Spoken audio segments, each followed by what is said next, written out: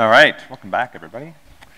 So, today we are beginning the third, second half of the class of three. Um, this is the start of our unit on object-oriented programming.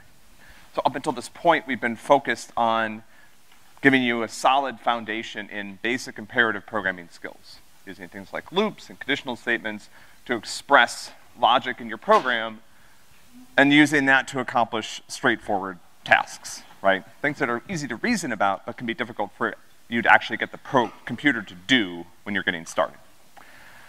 For the next month or so, we're going to shift gears. We're going to keep giving you practice on imperative programming. That doesn't stop. We keep doing that all the way until May. But we're introducing a new topic here. And this is actually a really exciting moment in the class, particularly from the perspective of thinking about how we work with data. Up until this point, we've talked about ways of working with kind of Java's built-in data types. So we started off looking at ways to manipulate single integer values or floating point values, truth values. Um, We've looked at arrays, which is a pretty actually powerful data structure that we can use to um, represent things like temperature measurements over time or music or lots of data that surround us in the world. And then we looked at, you know, strings, which are essentially arrays of characters but get a little bit of special treatment in Java. And today, what we're gonna do is we're gonna talk about how you can design your own types in Java. So you can actually get all the benefits of Java's type system and all the correctness that comes along with that. The compiler time checks that make sure that your code is correct. But you can build your own types. And this allows us to dramatically expand the way that we work with data because we can essentially start to build our own classes or types that allow us to model data in the real world in whatever way we want.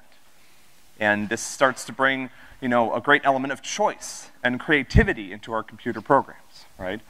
It also is kind of like really the last step that we get to in terms of how we model data in Java. Once you learn how to use classes appropriately, there's really no data out there in the world that you can't work with, right? And work with effectively. All right, so, um, so for, the, for the remainder of the semester, sort of here's the plan, right? So particularly towards the end of the semester, we're gonna come back and we're gonna talk more about algorithms in terms of how do we use them to solve simple problems, and then also how do we reason about their performance. We'll get you started on that, and that's a topic that you're gonna see repeatedly over the next couple semesters as you go on to take 173 and 225. We'll also talk about data structures. Um, data structures and algorithms really sort of go together very naturally, right? So how do we um, build some new data structures, which again we'll start doing in the third half of the class uh, that allow us to implement algorithms on top of them in order to perform certain tasks with greater efficiency. Um, and then also sort of software development. How do we write, debug, and publish good software? This is something that you guys are learning primarily through the MP, uh, which we're continuing with the new checkpoint that we're releasing. We released yesterday to the blue team, and we'll release today to the orange team. All right, so up until this point, what we've looked at, the primarily way that we've had for structuring our programs has been the function, right? A unit of programmatic logic. Um, and that allowed us to take what would otherwise be a big, unorganized jumble of code and break it into smaller pieces that accomplish specific tasks that can then be tested and then also composed in ways to build up larger programs, right? This was, has sort of been our, our approach. Today, what we're going to start to do is actually look at another technique for doing this, which is using Java's object system to combine state and behavior. So to bring these algorithms closer to the data that they work on. So now what you'll be able to do in Java is you'll be able, remember when we worked with strings? A string not only had data, but every string that you use in your program carries with it all of these useful methods. It knows how to split itself into pieces. It knows how to convert itself to a character array. It knows how to replace every character inside of it with a new character and give you back a new string. So these are all useful uh, features or algorithms that operate on top of that string data. And in Java, what's cool is that when you use the class system, those built-in, those algorithms come along with the classes that you create. And so anywhere we find a string, we also find the ability to use these useful features that it has. And then, you know, we'll, we'll do documentation and stuff like that, right? And then later in the class, we'll talk about how to reuse things. But our main focus now is on the second point, which is how do we combine state and behavior, and what does it mean to do that? All right. We're also getting back to the point in the class where I want to kind of, um, you know, this is a, this next unit, I think, is interesting in how it challenges students, right? I've seen people that do extremely well in the first part of the class, um, partly maybe because they have some background in basic imperative programming, and they get to objects and they really struggle because this is more conceptual. Um, it's also more creative. There are fewer right answers in this part of the class. We're talking about how do we model data. Those models are things that you're going to build. What I'm gonna do is I'm gonna show you the syntax and some best practices in the Java programming language for how we use the built-in language features to create our new types and use those to model data. But at the end of the day, when you go off and do this in the real world, this is one of the places in your program where, you know, when I'm writing code, I really have to kind of slow down and be like, wait, I'm making an important choice here, right? What does this piece of data look like? You know, what other pieces of data does it contain? How am I designing this? Because this is really where you're starting to design things in your programs, right? There are some constraints. Your, your classes have to actually carry around enough information about the data you're working with to be useful, but there's also a lot of choices that you make along the way, okay? So, so again, so these objects start to expose us to these design aspects. There's no right answers, but it gives you a chance to use these very complementary human capabilities. It's not just logic, right? We also want you to be creative, you know, imagine how your things are gonna be used, think both into the future, um, and think about, you know, how the whole program works together. This really pushes on a lot of these design aspects, right? That again are, are things that maybe we don't always associate with computer science or programming, but are incredibly important, right? And also incredibly rewarding right? This is very complementary to some of the thinking that you have to do as a software developer. You know, this really is a full brain profession, a full brain, um, you know, activity, right? It's not just logical thinking, right? There's a lot of design that goes into this, and today is, is the starting point for that. All right, so objects in Java combine state and behavior. When we talk about objects, we're going to frequently talk about these two aspects of the class or the object that we're talking about. What data does it store? So on some level, an object can act like a variable. It holds data, right? Think about the strings that we were working with. When we created a string, we told Java the sequence of characters. Sometimes if we initialize it with a literal, we tell Java the exact sequence of characters that we want that string to contain. But objects also carry around these behaviors. So on some level, they also act like functions. When I had a string variable, I could call methods on it using this dot notation that at the time was a little bit mysterious, and we just kind of dealt with it because it was like, okay, just use this magic syntax and this is what's gonna happen. But now we're gonna see exactly how that works and why. So again, when we talk about objects, when we start designing our own classes, we're gonna talk about two things. What data does this object store? And then, what can it do? What are the useful functions or methods that are associated with it?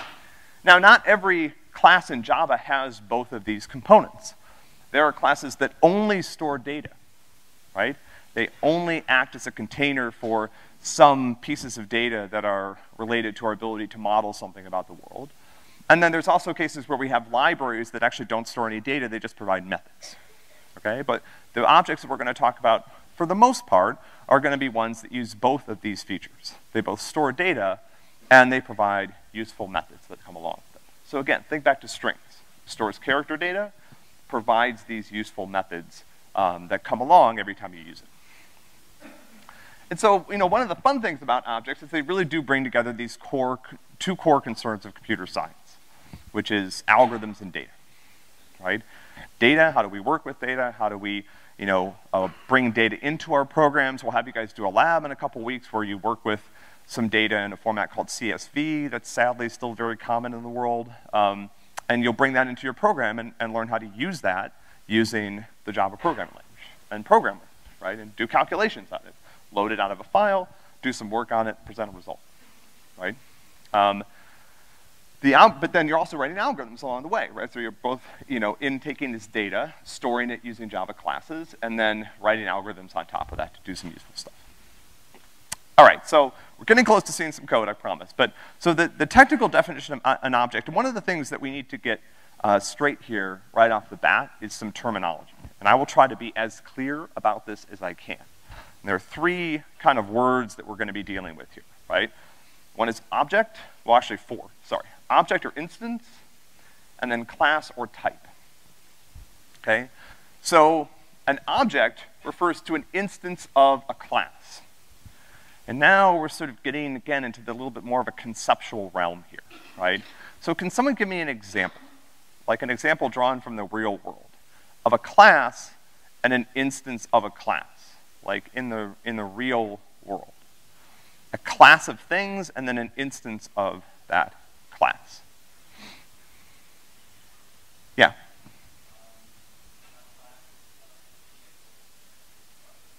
Yeah, so vehicles, things that move, maybe that have four wheels or something like that. That's a class. It's a, uh, sort of synonym for class could be category. It's a category of things in the world. An instance is a specific vehicle. Like there's a vehicle parked out in the parking lot out there. That's an instance of the class automobile. Automobile has many different types of you know uh, cars that it uh, can can sort of encompass, but there's a specific instance. So student Student is a class or a category. Every one of you is an instance of a student, right? University of Illinois student is a subclass of that original class. All of you, most of you are currently University of Illinois students.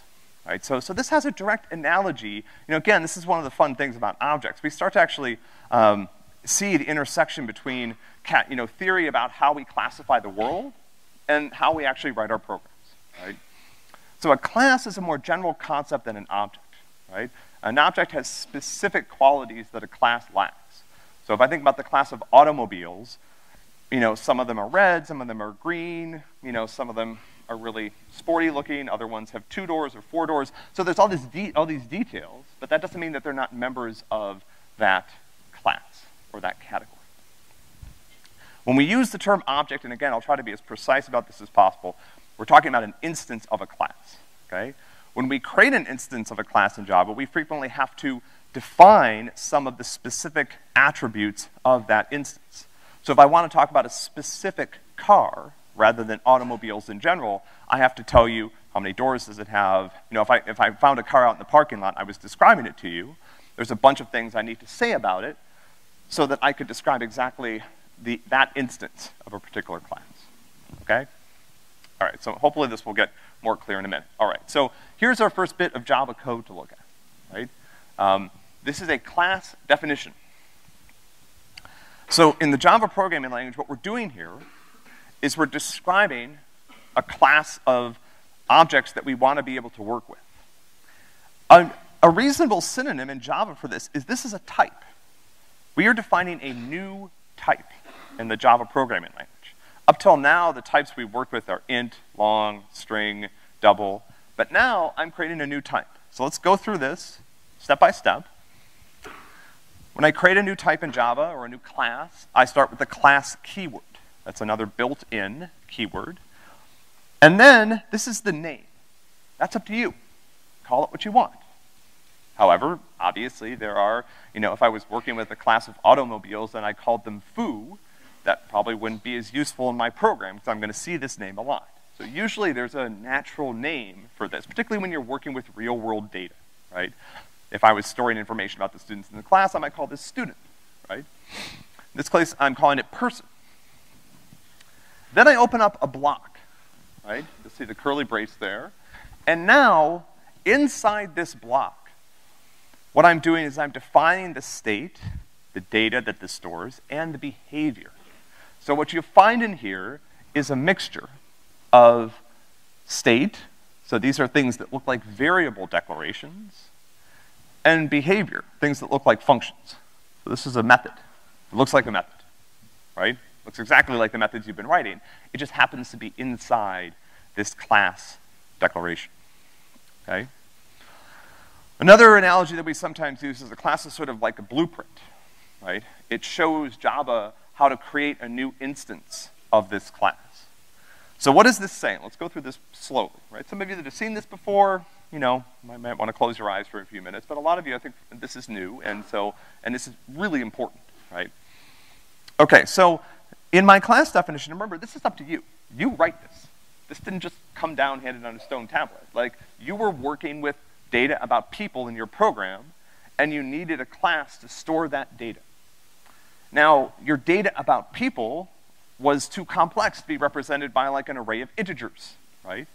You know, people have multiple attributes. Not every one of those attributes is the same type. They have a name, that's a string. They have an age, that's an int, or maybe a double if you want to store it with more precision. So this is a place where I'm seeing the limitations of the current types that I'm able to work with, but happily Java allows me to define new ones. So to work with people in this particular application, I need to know two things about them. I need to know their age, and I'm storing that as an integer.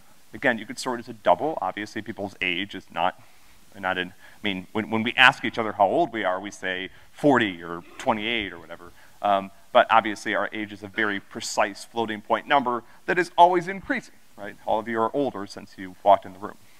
Maybe some of you feel even older than you should feel um, over the past five minutes. So the other thing I'm storing about each person is a name. It's a string.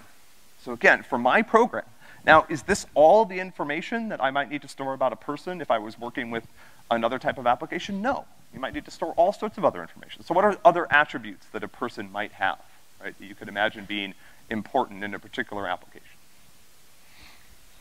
things about a person that I might need to store as part of this class, depending on the application that I was using. Yeah. Height or weight, yeah, you know, eye color, what else?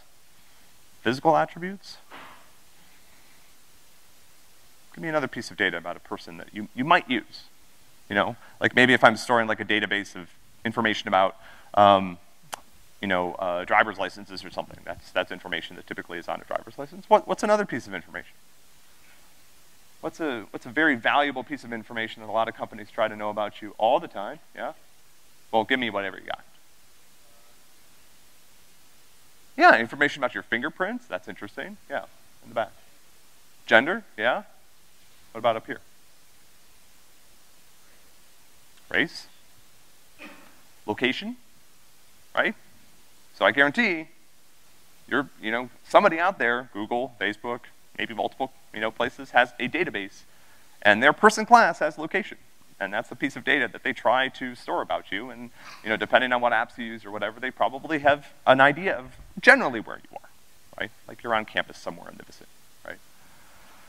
So again, the way that we design our classes is determined by what our program is trying to do, right? So here I've decided that my person is going to contain a name and an age. And then, so these are the, this is the piece of data. This is the data that's associated with my person. Every person that I create is gonna have these attributes. If I need to add more, I can do that. If I don't need as many, I can remove it. So this is the top part of this, right? So this is how I declare that my person is gonna have these attributes. I put in the type and then a name. Now, this is very similar to a variable declaration. And you might be wondering, can I also initialize these values? And you can, right? We'll see what effect that has a little bit. The second thing I can include in my person, uh, in my Java classes, are methods. These are known as instance methods. This means that every person will have a method called print name that you can call on that person instance. And we'll see exactly what this does and why this, uh, why this looks the way it does in a minute okay? But this defines the behavior associated with this class. Questions about this before we go on? This is new, and it's extreme, like I said, it's extremely important to understand. Okay, good. So I, okay, I just said this, right? It's worth reviewing every instance. So every instance of the class person is going to have a name that's a string and an age that's an int. And again, you can think of person as a new type in the Java language. And the compiler will help you with this. So for example, if you create a person and you try to access an attribute called weight, it'll complain. It'll say you haven't defined that, right? But this is, again, the way that we start to merge together disparate types of data in Java. So no longer do I have to try to coerce everything into an array. Now I can say a, a datum, a piece of data, can be combined of lots of other types of data right? I can have a person that contains strings and ints and doubles and maybe other more complex objects as well. All right, good. So one of the things that distinguishes Java, um, and this is not true just about Java, it's also true about a variety of languages, but in Java, unlike Python and some other languages you might be familiar with, once you define a class, you can't change it while the program is running. Java uses the information that you provide about the class when it compiles your code to check to make sure that you've done things correctly.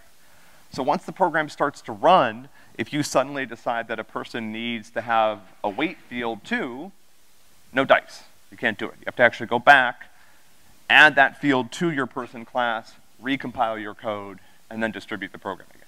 There's no way to do this at runtime. Um, now again, you may find this annoying when you're working on smaller programs, but this ends up being a huge benefit when you're building complex um, applications that need to store lots of data and when you're working with many other people.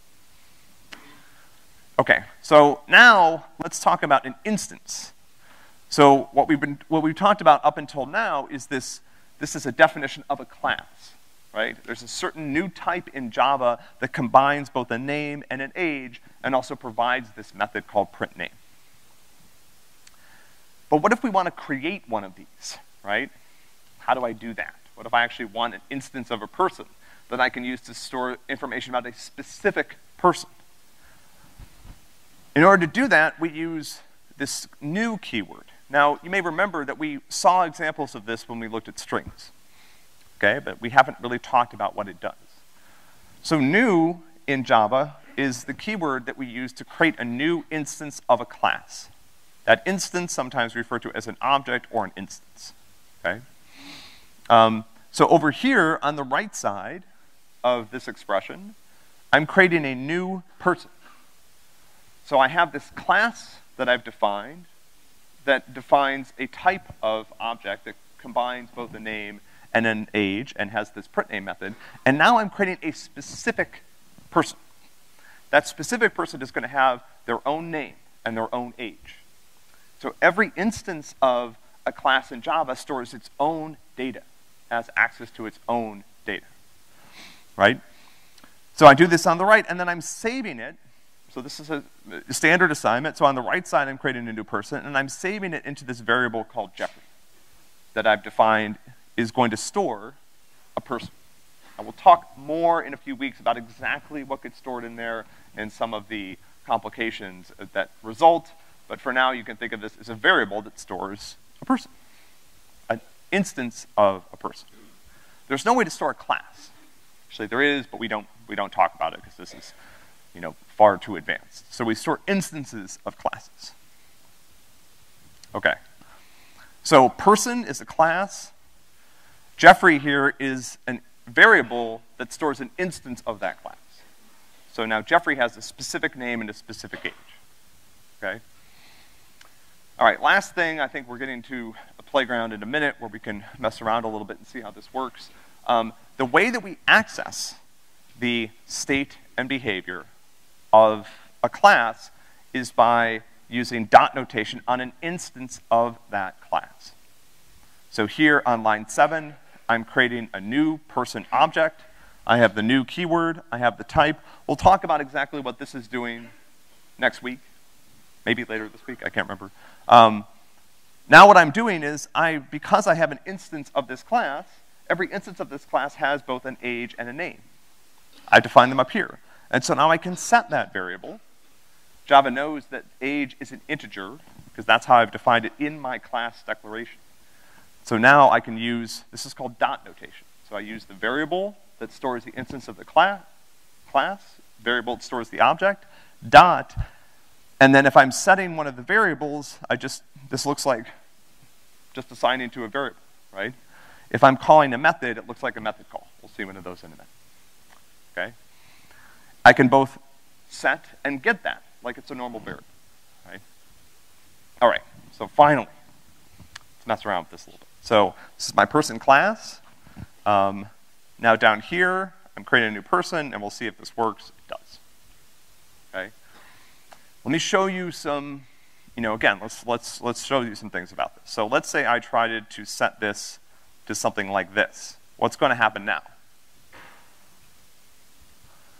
Anybody want to make a prediction about what happens if I try to run this? Let's try and see. Yeah, okay, so, and here's the thing. When I try to use dot notation to set jeffrey.age to be a double, Java knows what that field represents because I provided it with this class definition.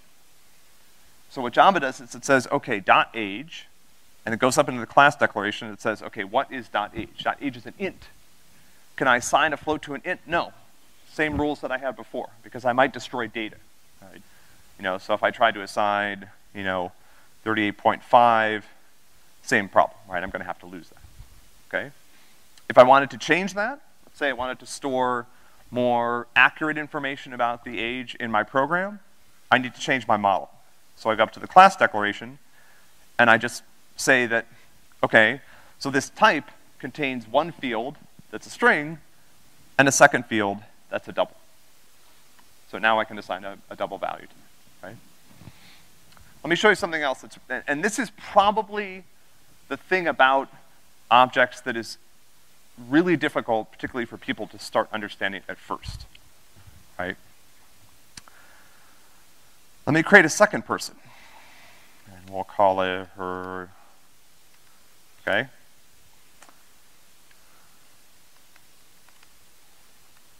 I don't know, something like that, okay? So now I have two separate people in my program. Whenever you see new, it means that there's a new instance of the person class that's being created. I have two separate people. Each one of them has their own age. So if I print my age, I get this. If I print Lily's age, I get 0.2, something like that. It might be 0.1. Um, I can also print my age down here. These are two separate instances of the class. They're two separate objects. So again, imagine that if the class is students, it's like I picked two of you. You have different ages. When one of you has a birthday, it doesn't change the age of the other, right? Um, if I assign one of you a grade, it doesn't change the grade of the other person. Are two instances of class. All right. Let's see what happens. Who wants to, so, so let's try this, just to find out. So when we had, when we worked with local variables, Java would force us to initialize them. So if I try to declare a variable and not initialize it in a function, it's not going to work. In a class definition, it does work. Who wants to guess what the age of Lily will be when I print this out? Yeah. Zero. Yeah.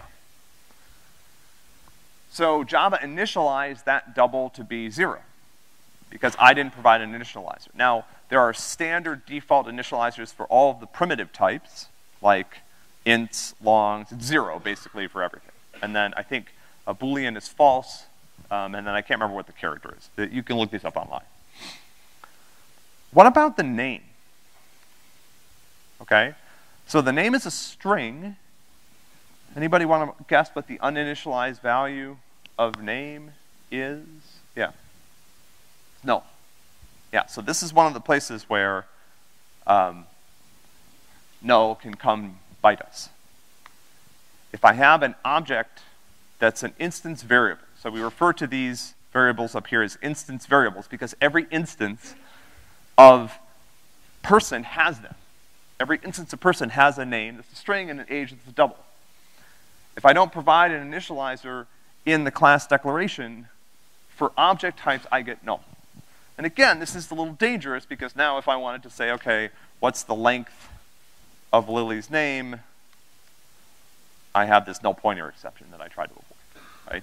Now, of course, if I set lily.name equal to Lily, then I'm, then I'm fine, right? Then I can compute the name. Any questions about this? before we go on? Yeah.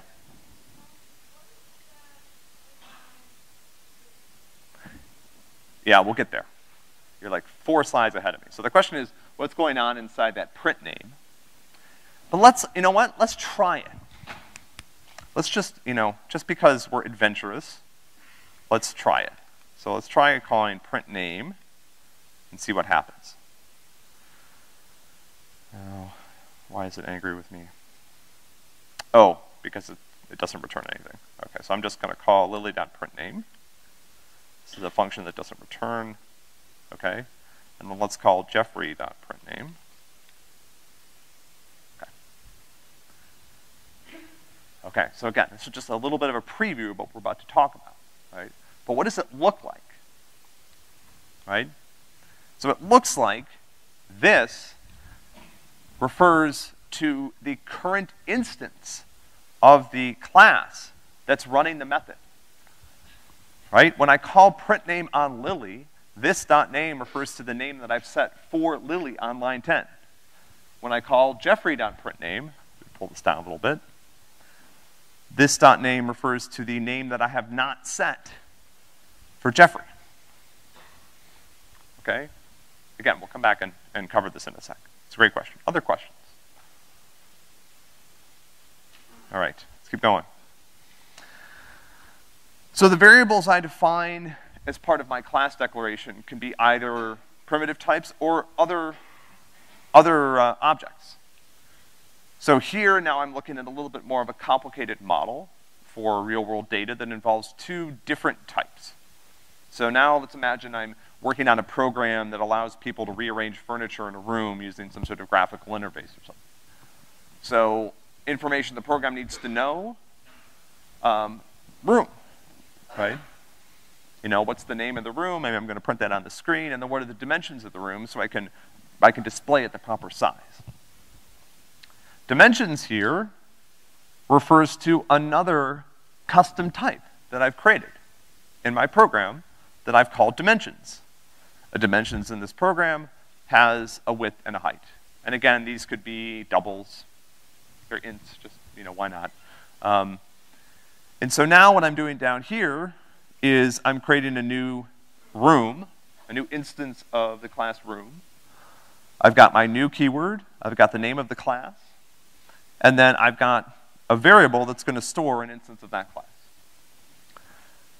Now, when I have an object that's part of a class, it doesn't get initialized when I create a new instance of that class, so I'm going to initialize it um, manually here. And then, so again, I can use dot notation as many times as I need to. So here what I'm doing is I'm saying the dimensions of dining room, the width of the dimensions of dining room is equal to 10. So when I start with dining room, which is of type room, I follow that to dimensions. Dimensions is of type dimensions. And then I follow that to the instance of dimensions that I just created on line 10, and that has a width and a height. So I can set it there. And again, this is really common? It's really common when you're working with data that it's not flat. It has structure to it, right? Why am I creating a separate dimensions class? Why not just have every room have a width and a height? Anybody, anybody want to speculate? Like for this small program, it seems like I've just made things more complicated. Why not just let a every room have its own width and height? Why would I, why would I create a separate dimensions type in my program? Any guesses?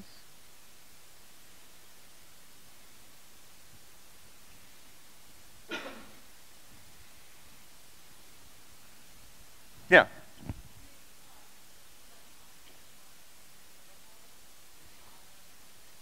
I like that answer. Let's let's let's try to start with that. So the question is, you know, I, another way to put it is is there anything else in this program that's going to have a dimension? Probably, like the pieces of furniture you're going to move around, right? Um, you know, maybe, you know, other things that I need to do the, the layout of the room, right? So if my room has a width and a height and everything else has a width and a height, then I lose the chance to have this common functionality associated with the dimension. So now if I create like furniture as a class, the furniture could have a name and a dimension, just like the room does, and then I could use those pieces of data separately. So this makes my, my, my class more modular. So again, here's an example of this. Um, and actually, let's print it just so that we conv convince ourselves that this worked.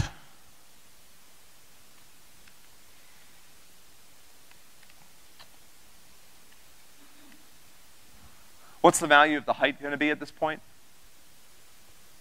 Zero, right, because it's not initialized. And so I get the uninitialized values here. Okay. And so again, as I've been, I've sort of been harping on this as we've gone, right? But Java allows us, allow us to create these custom types. And these custom types, again, behave in the exact same way as the built-in types that you've been used to using. They are checked by the compiler. Um, so for example, if I go back over here, and let's say that I misspell height, right? If you're working in IntelliJ, you'll get like a red angry message, and if you're, this is a compiler error. Let me just make sure that's clear. In Python, this is an error that happens when the program runs, okay? Because Python can't check stuff like this for you. So in Java, the compiler knows what the type of dimensions is, and compiler knows that dimensions has two instance variables, a width and a height, and it knows how you spelled them. And so it can check stuff like this for you when you're preparing the program. Now, if you really spelled height that way, then you're cool, right? Um, but if you spelled it correctly, then bugs like this are very easy to fix. Trust me, as someone who has done this for a long time, you will make typos. You will misspell stuff. Like, none of us are perfect typists. And when you work in a language that helps you with stuff like this, it really, really reduces the number of problems you're gonna have. I can't tell you the number of times I've had things crash because I mistyped something, like a variable name, and I was working in a language that didn't help me with that. This is one of the really nice things about, about the Java programming language. Okay. Um, and again, it also knows things like the type of the dimensions, right, like we said before. So even if I'm, even if I've typed things properly, um, and I'm trying to use something that only takes ints, this will, uh, this will also, the compiler will also check this and help. Let's look at an example of this, right? And this is directly drawn from the first MP checkpoint, right? All right? So, how many people have completed get target within range, right? It's a fairly, you know, straightforward function uh, once you figure out what to do, which is what takes most of the time. Um, but, but think about this, right? Because when you guys started this MP, we didn't, um, you know, I had to, you know, tell Ben, well, they don't know anything about objects yet, so you can't use an object, right? So what are we doing? We're passing you an array of latitudes and an array of longitudes that are doubles. And we're telling you that if you want to find each point on the path, you look it up by using the same index in both arrays. There's actually a name for this, but I'm not going to tell you because it's dumb. It's a dumb thing to do, right? What's a better way to do this, right? So again, on this MP, we were limited to using the primitive types and arrays of primitive types because you guys didn't know about objects yet. But now that I can define my own classes, what do I really want here? Someone help me. Give me a, give me a very simple class declaration that will make this piece of logic, and to be honest, the rest of your MP, which deals with location a lot, a lot easier to work with.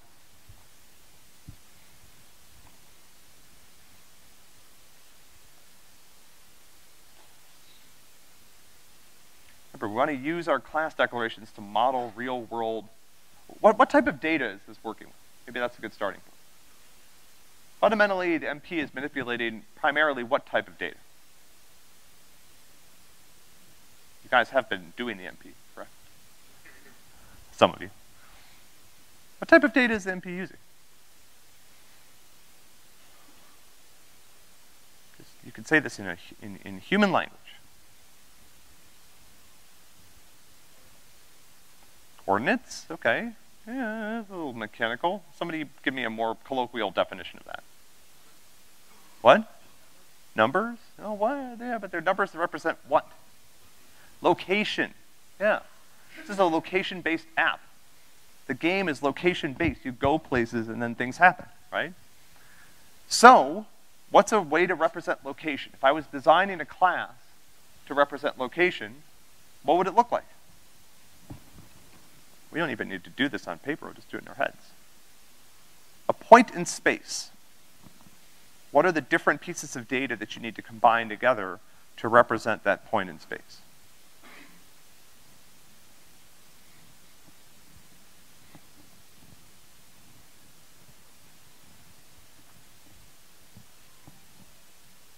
Someone who hasn't volunteered anything yet today?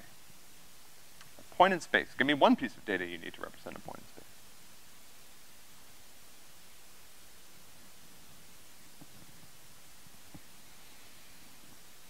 Yeah. Yeah, latitude and longitude. Not a trick question. Is that enough, technically? Like if you really wanted to do this for real, if you, is this enough for every application that uses location? What else might you need? Yeah. Time, okay, where, so I could, if I'm tracking a person's location over time, I also want to say when I measure that location. But what other piece of location? What other piece of data do I need? Yeah. Altitude, right? Yeah, so if I was really tracking someone's location over time, I would track latitude, longitude, altitude, and time. Those would be the things that would be part of my location class, right? Here, if I combine the latitude and longitude into a single class, then what I can do is I can pass you an array of location objects. That's what we're gonna, that's how we're gonna work with location in the future on the MP. We're not gonna mess around with these synchronized arrays. We're just gonna give you an object, and that object will have a latitude and a longitude property that you'll be able to access. So dramatically clean up, clean up this code, right? So what we really want here is a location type that stores a latitude and a longitude, and then what we can do is we can rewrite this, um, and that might look something like this, right? And so now look at how, look at how much more intuitive this code is, right? So we went from looking something like this, where I had this latitude, longitude um, array. Now I'm saying, and I have this is valid, right? So this is part of the game. There's this notion that a particular pair of coordinates is valid. So now I can call get target within range. I pass it a path, which is a series of location coordinates, and then my current location, right? So now this is a lot more intuitive, right? And you're gonna work with these by just saying current location dot latitude, current location dot longitude. Okay. So, so up until this point, we've really been talking about objects primarily as a way of structuring data, right? Joining together multiple different types of data so that I can represent real world entities, like a location that has two doubles associated with, or maybe three or four, right? A person that has a name and an age, right? A student that has a university ID and a dorm and an address on campus and stuff like that, right? But one of the cool things about classes in Java is that it can also do things, right?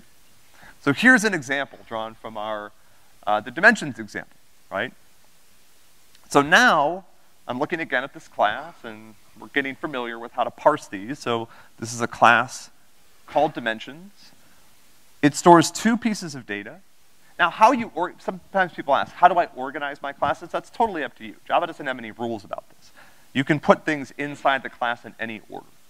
When we look at it in class, we're looking at small classes. I'll typically put the variables at the top, and then any instance methods at the bottom, which we're about to talk about. So here, I've got a class that defines dimensions, and I'm using ints to represent its width and height. Again, I could use doubles, but I'm using ints for this.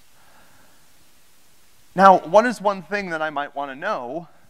What is a useful uh, property or a useful calculation that I might want my dimensions object to be able to perform?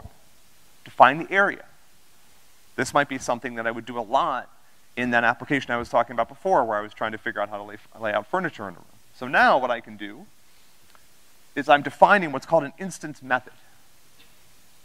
An instance method, the declaration looks exactly like a function that you've already been writing. But there's some differences, right? So overall, this looks a lot like the function, function declarations we've been writing. This is a function called area. It returns an int. It takes no arguments. It opens up a block, and then there's code inside. What I'm doing is I'm returning. Now I've got this keyword that I need to reckon with. So I'm returning this dot width times this dot height. And what I can do is after I've set up a dimensions example down here with the height of 20 and a width of 10, I can call this function on the instance of the class.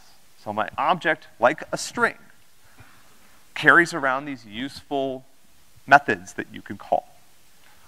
And I can do that anytime I need, anytime I need to know the area.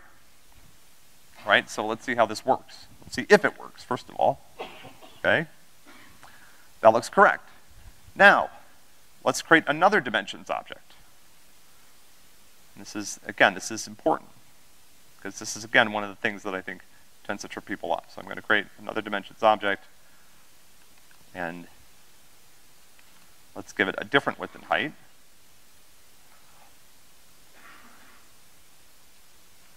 Now I'm calling two different functions. Well, sorry, I'm calling the same function, but I'm calling it on two different instances of the class.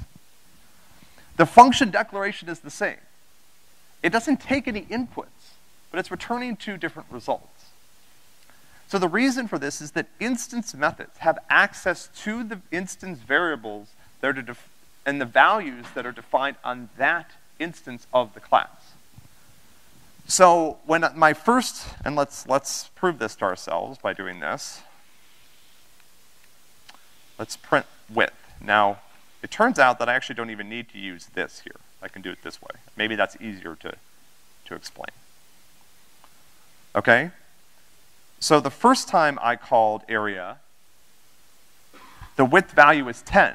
And that's because I called it on example, and I had set examples width to 10. The second time I call area, I'm calling it on second. Second is a separate instance of dimensions. It has its own width and height. And so when the second call to area runs, width is 20. These are two, again, it's like two completely different people. They can have completely different attributes. When I call the method, the method works on any instance of dimensions but it has access to the local variables defined on, sorry, it has access to the instance variables defined on that instance of dimensions. So again, this is one of these things that's important to wrap your head around, right? Because it looks, this looks weird. It's like, where are the width and height coming from? They're coming from that instance of dimensions. So someone asked about this, and this is what this is.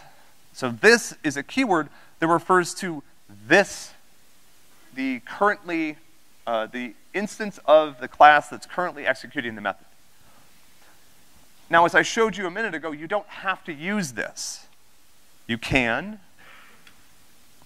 So I can say this dot width. This means this is my width.